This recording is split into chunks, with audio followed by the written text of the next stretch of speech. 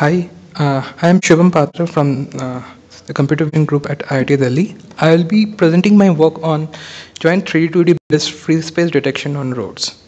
So, uh, the main applications of uh, uh, free space detection is in autonomous navigation for road detection and obstacle avoidance. So, uh, what are the main challenges in here? So if we use the 2D based priors for road detection, like just using images only, the, these methods fail when the textures are non-uniform or that their illumination changes like in day and night. Even the CNN based techniques are trained on particular datasets. When we try to generalize it on the roads, mainly on Indian roads, they fail.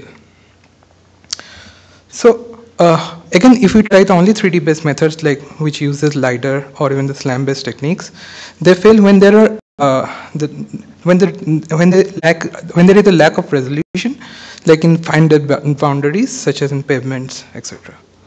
But if we combine the, both the 2D or 3D methods, so they can mitigate the problems and and complement each other to have a better segmentation and free space detection. So if we describe our approach, so first we generate 2D priors in the form of probability distribution from a CNN-based method such as SegNet and use it for generating the priors for our method.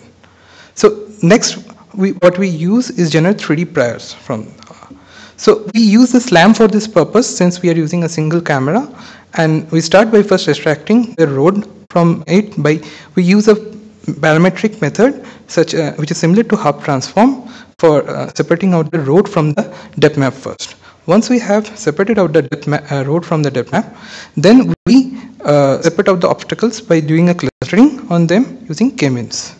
Now using this we generate a higher level information. So we have a higher level representation for the roads and the obstacles and we use this in a CRF formulation for a free space modeling the framework is given in this figure. So uh, first we show some qualitative results. So uh, this is what, this is on uh, a particular example which is taken on our university campus. So we show the detected road and the free space in 2D in the first row and the, in 3D in the second row.